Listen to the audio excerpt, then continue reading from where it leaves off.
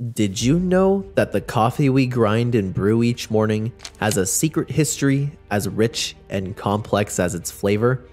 Today, we are delving deep into the surprising tales behind everyone's favorite pick me up drink. Origins and Legends The origins of coffee are steeped in fascinating legends and historical anecdotes dating back for centuries. The exact beginnings of coffee are a bit fuzzy and not fully proven but there are two main stories about where it started. One story is set in Ethiopia, and the other takes us to Yemen. The first famous tale traces the discovery of coffee to a goat herder named Kaldi in Ethiopia, who noticed his goats becoming unusually energetic after consuming berries from a particular bush. Intrigued, Kaldi tried the berries himself and experienced a similar boost in energy and alertness. Word of discovery spread, eventually reaching monasteries where monks began using the beans to stay awake during long periods of prayer and meditation. Another legend attributes the discovery of coffee to Sheikh Omar, a renowned healer in Yemen during the 15th century. According to the story, Omar was exiled to a desert cave where he survived by consuming berries from nearby bushes.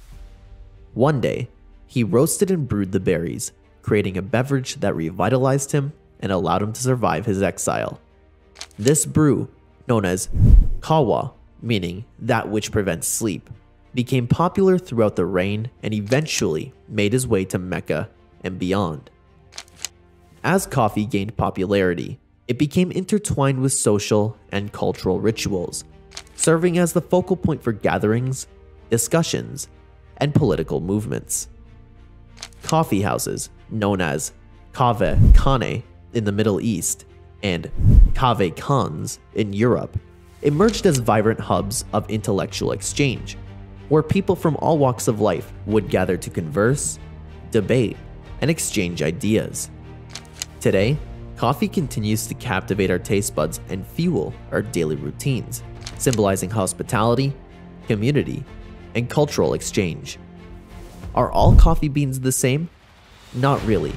Within this enchanting belt, four main types of coffee beans reign supreme Arabica, Robusta, Liberica, and Excelsa. Arabica, the oldest cultivated bean, originates from the Ethiopian highlands and boasts a delightful fusion of sweetness, fruitiness, and subtle acidity. Meanwhile, with its robust caffeine punch, Robusta hails from Africa and Indonesia, making it the go-to choice for espresso lovers seeking a potent pick-me-up. Though lesser known, Liberica and Excelsa add their unique charm to the coffee landscape, cultivated in Southeast Asian regions. While Arabica dominates the market with its exquisite flavors, Robusta is the backbone of many everyday brews. Initially met with suspicion and scorn in the West due to its Islamic roots, Coffee eventually run over the hearts and minds thanks partly to Pope Clement VIII's unexpected endorsement. According to a legend, the Pope, intrigued by coffee's glamour, took a sip before pronouncing it fit for consumption or effectively expelling the idea of it being the devil's drink. The Pope baptized the coffee beans to reassure his followers, symbolically cleansing them of any evil influence.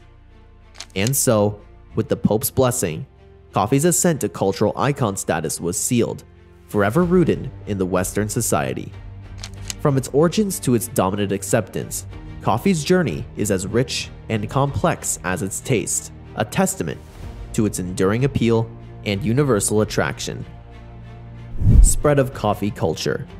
As coffee journeyed across continents and cultures, it underwent a fascinating evolution, linking with the customs and traditions of each region it touched. In the Middle East, coffee houses emerged as vibrant centers of conversation and camaraderie, where people gathered to discuss politics, philosophy, and art over streaming cups of an aromatic brew. Meanwhile, in Europe, coffee houses became synonymous with the Enlightenment era, fostering intellectual discourse and innovation among scholars and thinkers. The spread of coffee to the Americas was a game changer, fueling the growth of these plantations and economies in regions like Latin America and the Caribbean. These lands' rich, fertile soils gave the rise to some of the finest coffee beans in the world, cherished for distinct flavors and aromas. In Asia, coffee took on new dimensions, blending with local ingredients and traditions to create unique brews like Vietnamese iced coffee and Turkish coffee with cardamom. Impact on global trade. Since its discovery, coffee has profoundly impacted global trade, shaping economies, cultures, and societies worldwide. From its origins in Ethiopia and Yemen, coffee spread rapidly across continents, becoming one of the most traded commodities in the world. The global coffee trade flourished in the 17th century, driven by European colonial powers seeking to establish coffee plantations in regions with suitable climates and fertile soil. This led to the mass cultivation of coffee in countries such as Brazil, Colombia, Indonesia, and Vietnam, where favorable growing conditions allowed for large scale production. The rise of coffee as a traded commodity also spurred the development of complex supply chains and trading networks, connecting coffee producing regions with consumer markets worldwide. Coffee became an integral part of global commerce, with trading centers and exchanges established in major port cities to facilitate transactions and ensure a steadily supply of coffee to the meet growing demand. So, that's all about the history of coffee you need to know.